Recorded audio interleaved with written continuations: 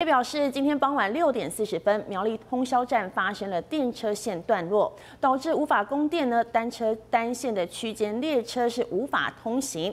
一直到晚间九点半，已经有超过两千名的旅客受到影响。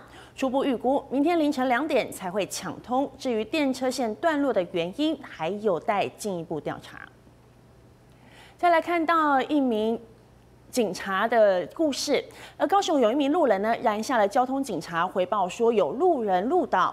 警察一开始呢还以为是民众喝醉酒倒在路边，但没有想到到现场查看之后呢，才发现路倒的竟然是一名喜肾患者，因为身体不适而倒在路旁。原警就担心发生意外，是一边借护一边陪伴，最后才顺利让家人把患者接回家。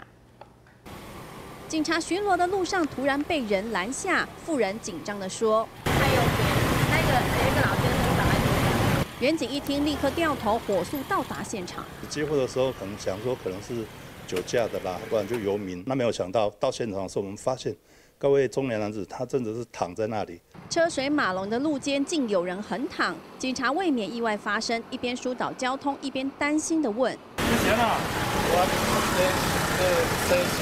他觉得身体非常不舒服，血糖降低，因此把车停在路旁，那自己躺在路边。原来六十岁男子刚从医院洗肾结束，独自骑车返家，突然身体不适才停车躺路边。